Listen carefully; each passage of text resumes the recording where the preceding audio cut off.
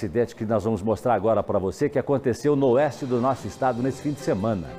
Gente do céu, um caminhão, ele rodou pela contramão um trecho.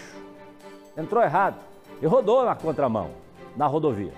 Provocou um acidente que envolveu 10 veículos. Veja. Foi um gravíssimo acidente envolvendo aproximadamente 10 veículos, entre carros, caminhões e carreta. Do alto, o cenário do caos. Esse carro que ficou todo retorcido. Esse outro capotou. Na frente da carreta, o estrago.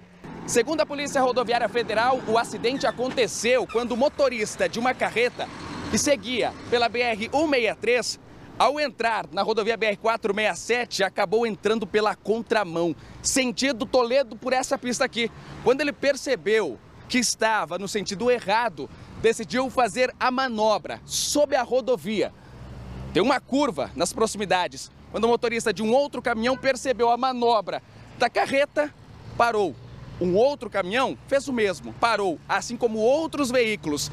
Depois, essa carreta vermelha não conseguiu evitar, não conseguiu parar e acabou batendo em todos os veículos. Já o motorista da carreta Bitrem, que entrou na contramão e fez a manobra, acabou fugindo sem prestar qualquer socorro. Mas não demorou muito tempo para ser localizado e já estava em outra cidade da região. Foi abordado na nossa unidade operacional em Quatro Pontes, já foi identificado. Poucas horas depois, duas das vítimas que foram atendidas e encaminhadas ao hospital não resistiram e morreram.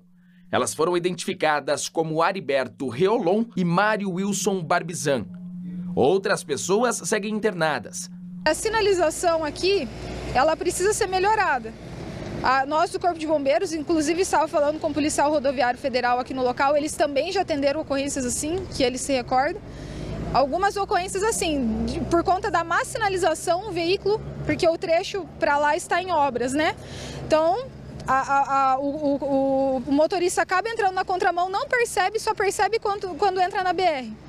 E é o que aconteceu hoje.